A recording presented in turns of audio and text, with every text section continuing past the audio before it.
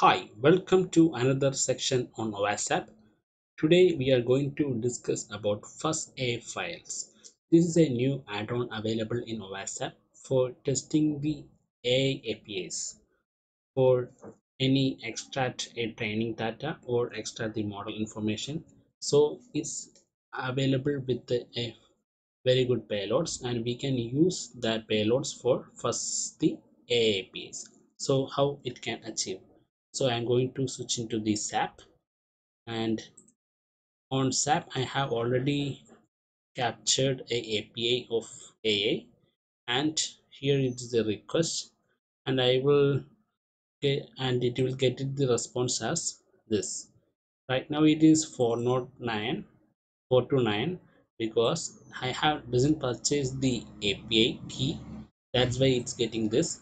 So if you using the a valid API key then it will getting 200 and on your target API or you can check it with this this feature. So I have add an video how to capture the API request on Postman into the ZAP that I will add into the description. You can check that one. So I'm going directly to the session okay?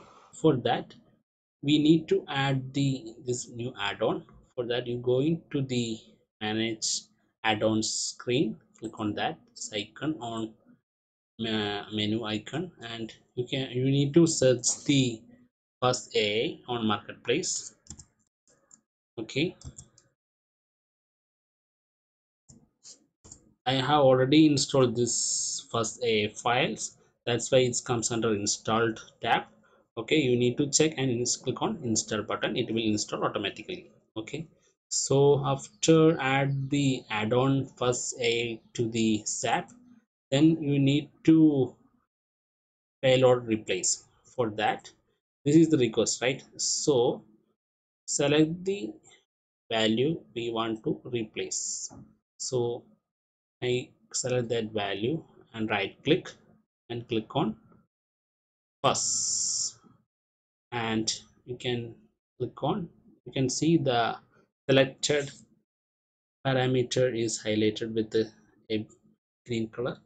Okay then click on payloads and click on add. And you need to choose the file fuzzer and you can see a new add-on for first a okay? So expand that. And here you can see two types of payloads extract model information and extract training data okay expand first one. And i am choosing the first one for demonstration architecture and click on add. And okay so then you can start the fuzzer then it will apply these types of payloads and we can check the result okay? And start fuzzing so it's completed. So when when it's completed you can check the result this is the request. You can see here applying the different payloads and getting the response. Okay.